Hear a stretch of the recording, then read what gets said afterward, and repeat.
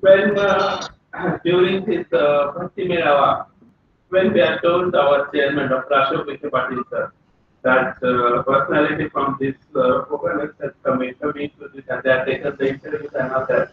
And all of you might be are knowing that he also he stayed at in the Sweden from the last uh, for 30 to 40 years. And he said many good things about the company. How that uh, maybe in the second, third, fourth interaction, he will tell you how these uh, things go down. So, once again, I welcome sir uh, to this uh, Pravara Education Engineering College campus and warm welcome to the students and I hope you will learn, learn the many more things from this lecture. Thank you.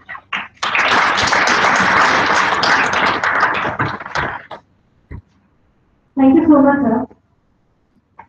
Now I request Dr. Kumar M Iyer to step forward and take hold of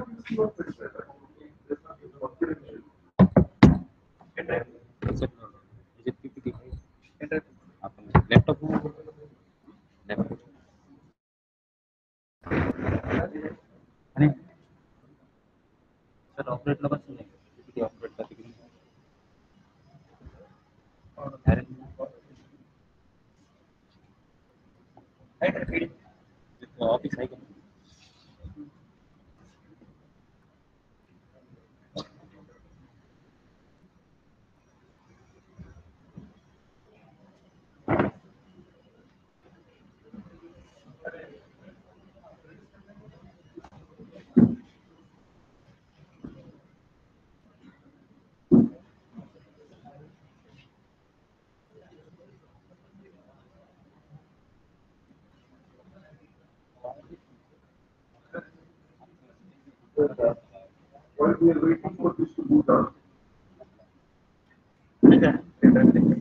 So, good morning, everyone. Uh, so while we are waiting for this to boot up, I just thought I will give a few. Uh, I was in the same position 30 years ago, so I can understand what is going through all your minds right now. Third year, fourth year, I mean, uh, but uh, this is a great time to be in this career. I wish I was in career. Because the opportunity that is there in India now was not there when we were young. I mean, this is a great time to be young. Not that I'm very old, but still, I wish I was your age. So, uh, but uh, you know, uh, it's good. It's nice to come back. It was a very pleasant surprise when I go, uh, spoke to Professor Jagirdar after so many years and uh, a lot of old memories were rekindled. Uh, it was a very nice, warm feeling that came over me when I spoke to him. Uh, somehow, somewhere along the way, we had our had just drifted apart a little bit. But you know, they say what is written here has to happen. So it had to happen, and, I, and I'm glad that it happened. And I'm here today you know, once again, sharing a little bit of what I know with the people here.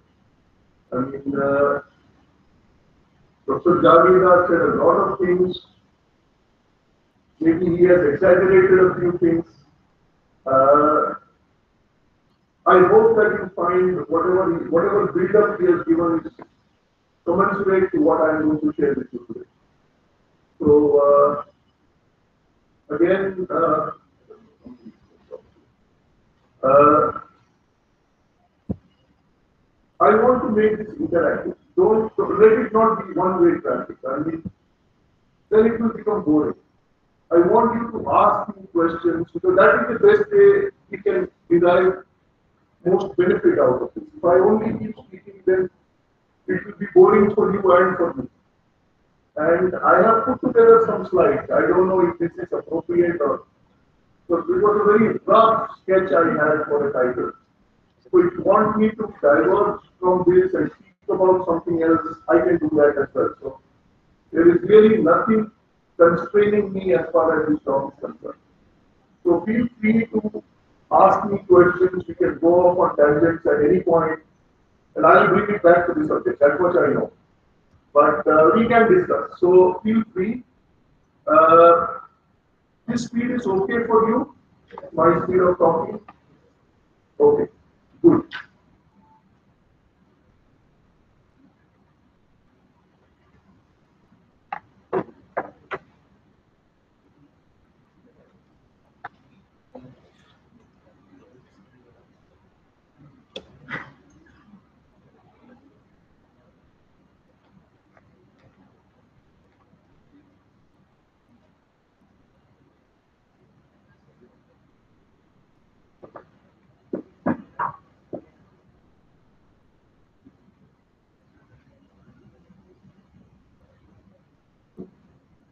This is taking too long. I, uh, I don't know. I normally never this long, but uh,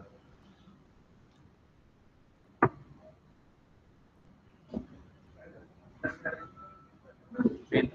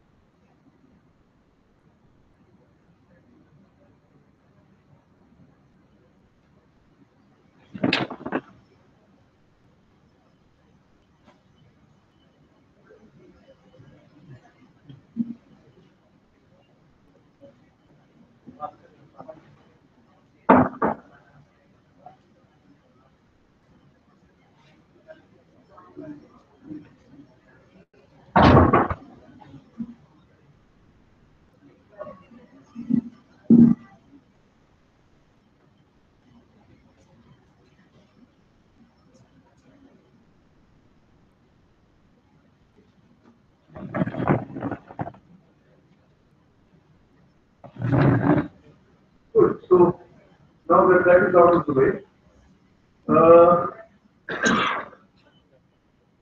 these gatherings of mechanical engineering. So you must have done a little bit of metallurgy at some point in your curriculum. So this will just help you brush up a little bit of your metallurgy. And uh, when you are in college, you would think, why do we do metallurgy? Boring, it's dry subject. Uh, the teachers all are all aware, are, are these going useful for us? Let me tell you, when you go out in the industry, if you know a little bit of this, it is a big asset. I mean, people like me have jobs because others did not learn metallurgy. If everybody had learned metallurgy, then I would not have a job. But uh, because it's, it's a fact, people thought it is boring. They learned, a lot of them went into management, a lot of them went into IT. And so I have a job. And a very comfortable job at that. So uh, that's why I thought let me just share this because this is important. If you, if you know this, it gives you an edge. It gives you an edge when you go out into industry, if you know a little bit more. I mean, you must have learned a lot about tool design and tool engineering and machine design and things like that. But how that machine is made, what it is that makes that machine work or that tool work is very important. And that is where heat treatment comes in. This is very essential if you want to really get the most out of your equipment or out of your tools. So you need to look at it a little bit. I will, I will gloss over a few areas if you, uh, I just put together something, but uh, we will go, we'll see what is there on.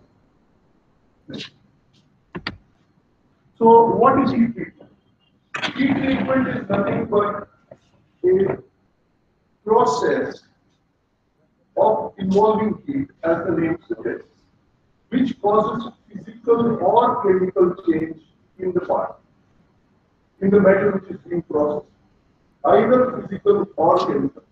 And the heating should not be incidental. Heating has to be deliberate. We are deliberately heating the part to get the properties. It is not like, like, for example, if you're doing hot forging, or your, or if you're doing hot rolling, there also you are heating. But that's not heating, or even welding. When you're welding two parts together, the parts heat that is incidental to the process. The process generates heat and that is why gets heated up. Whereas in heat treatment, you're deliberately heating the part to cause change. So heat is integral into the process. That's why it's called heat. It's not incidental to the process. Can you hear me at the back? I can't hear you. I am very hard of hearing. Okay, good, good. So, uh, that's what I said, that it has, heating and cooling is specific to the process. It is not incidental. So, if you want, I put up the iron carbon phase diagram, you must have seen this, I'm sure. But uh, the only reason for this is because almost 95% of all engineering metals materials are made out of iron. iron. So this this is very essential, and uh, you need to remember these two lines: the A1 line, the A2 line, and the A3 line. Everything everything that happens in heat treatment happens either below A1 or above A2. That is very important. So these two temperatures are very critical whenever you are talking about heat. So, and if you look at it, most steels fall in this range. They're below here, below 0.8. So we, uh, it's very necessary that uh, you know this curve. This, if you want to do anything in treatment, you need to know this diagram by memory. It's very important. I mean, if you, if it doesn't matter whether you are doing metallurgy or you are not doing metallurgy. You're going out into industry. If you don't know the iron carbon phase diagram, you've lost half your battle. You need to know this diagram very critically because Everything you do, whether you go into design or whether you go into manufacturing or anything, you are going to be working with steel, whether you like it or not. Tools will be made with steel, you'll be machining tools made out of steel. You'll be doing a lot of operations which involve steel. So this diagram is very critical. That's the only reason I put it up. There's no other reason for that. So, what is it that makes uh, steel so special? I mean, steel is one of those uh, very few alloys which actually respond to heat. Something like copper or, or even aluminium, a lot of aluminium does not respond to heat treatment. It cannot be made hard, it cannot be made tough. If you have to do it, you have to alloy. Whereas steel, you can harden, you can toughen just by heat. So that's what makes steel very special. I have put up three crystal structures here. I mean, I don't know if you are familiar with that. But the one on the left, which is alpha, that is the BCC, which is ferrite. That is how steel is when it is soft. The one in the middle, gamma, is austenite. That is where steel exists when you heat. That is the densest phase of steel. Uh, I mean, if you look at properties of steel, then you always know that stainless steel is heavier than carbon steel. The reason being stainless steel exists in the gamma phase osmotic flavors, the one which we use for utensils at home. I mean, you have not reached that stage yet, but our wives know it. They look at stainless steel utensils, you know, hurry nahi hai. Kuch to gadbad hai. You know, this, I'm telling you a fact. They go out shopping, the first thing they do is they Intrinsically, housewives know that if it is stainless steel, it will be healthy. That's the principle, that it exists as austenite, and that's what makes it heavy. Because it's denser. For the same volume, it has more. And the other very useful property of austenite is, I like to say austenite is like a butter. Everything goes in, everything dissolves in austenite. That is the only time when steel exists as a single phase. Any other condition, there will be multiple phases.